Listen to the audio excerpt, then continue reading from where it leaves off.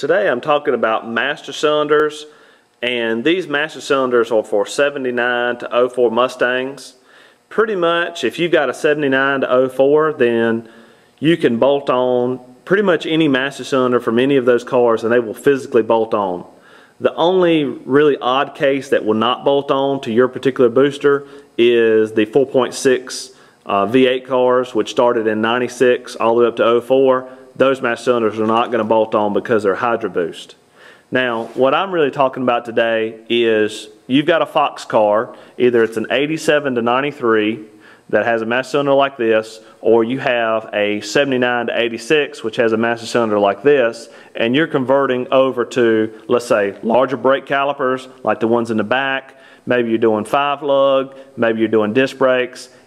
Anyway, you're doing some type of conversion and you need to pick a master cylinder that has a larger bore and a bore that will work for your application. First, let's talk about what you've probably got. And we'll start with the 87 to 93 master cylinder. That's this particular one. The 87 to 93 master cylinder, like pretty much any of the master cylinders after that, are going to have a plastic reservoir. It's going to have the low fluid sensor and it's going to have metric threads with a bubble flare.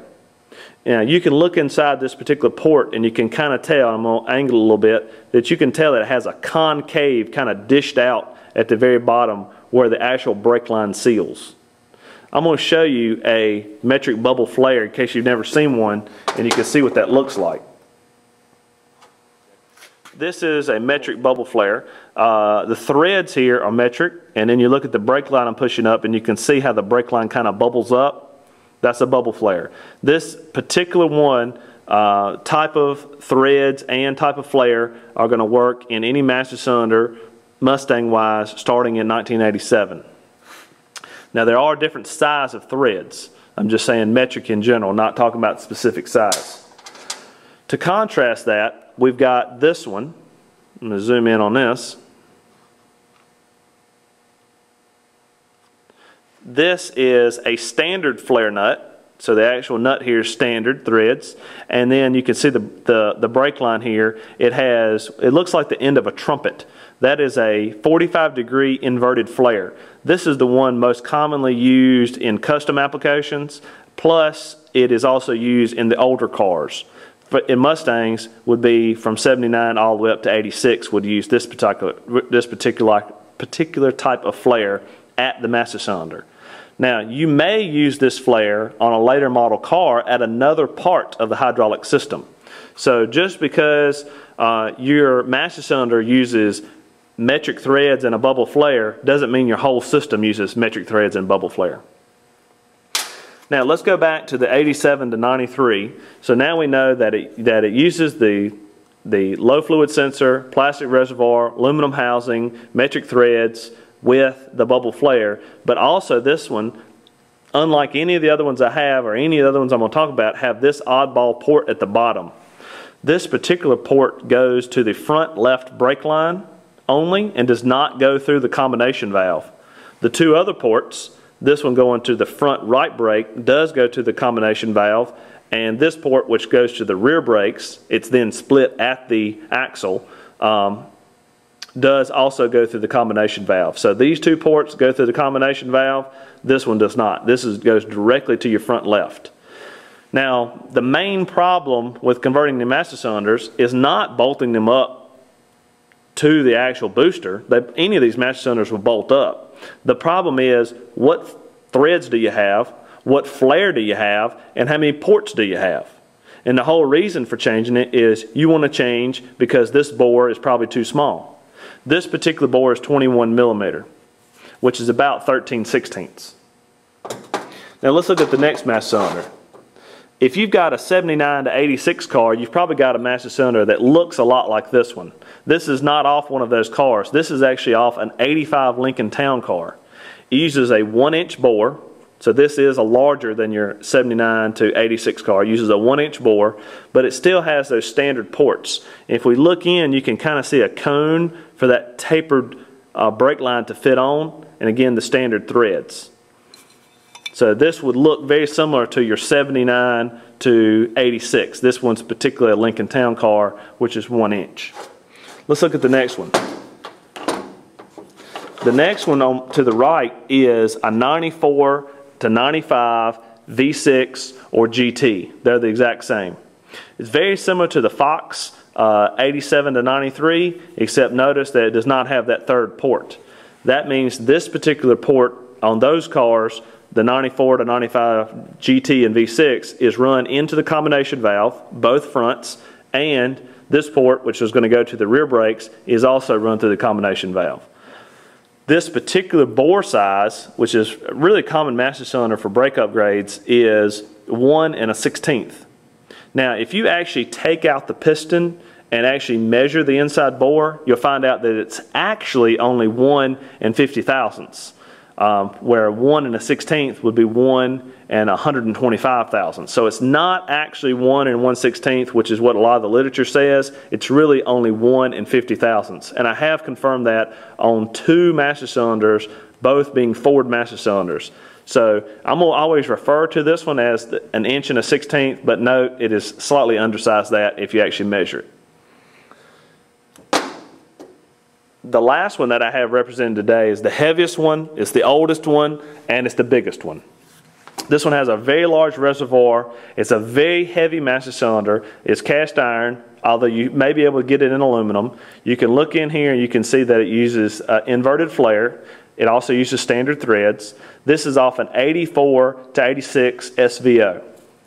The bore size is 1 and 1 8 It's the largest bore size. It's going to move a lot of fluid.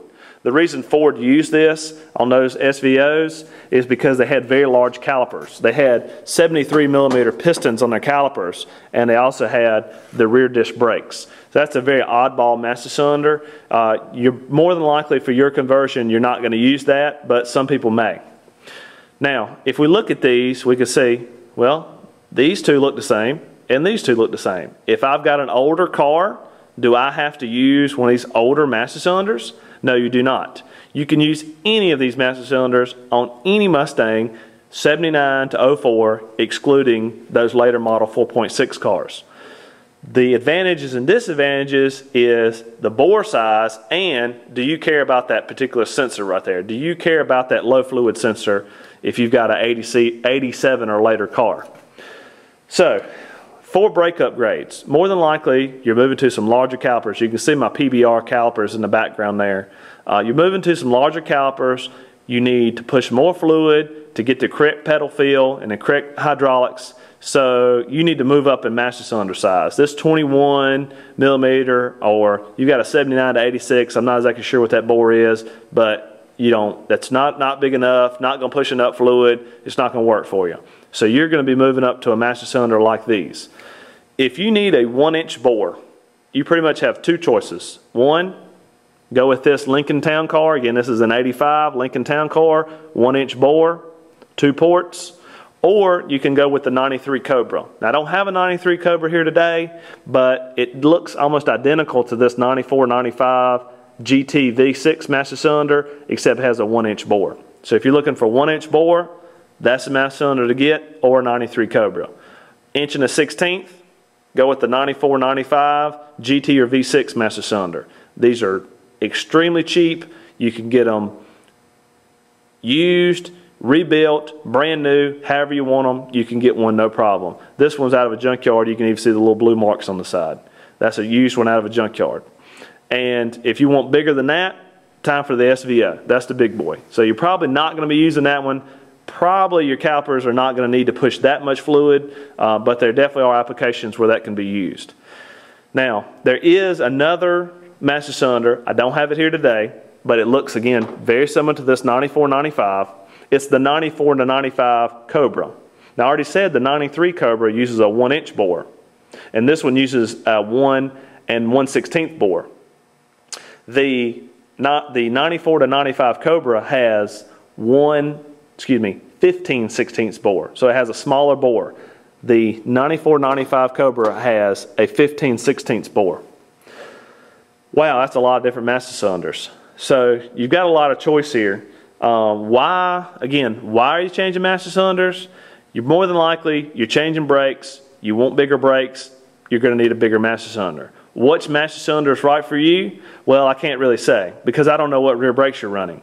Um, if you're going to be running these PBR brakes, like a 99 to 04 PBR brake, it really it's not just the brake on the front you're running, what's the brake on the back you're running. Also, how do you like the pedal feel? If you like a real stiff pedal, a pedal that's really got a firm push to it, then you're probably going to want a larger bore. If you want more uh, an easier push, less fluid, then you want a little smaller bore, maybe the one inch or maybe even the 15 16ths. So I can't say that there's one master cylinder that you need to go to. So in later videos, I'm going to give some recommendations of what master cylinders I would put with certain combinations. But as of right now, we're just looking at the bore size.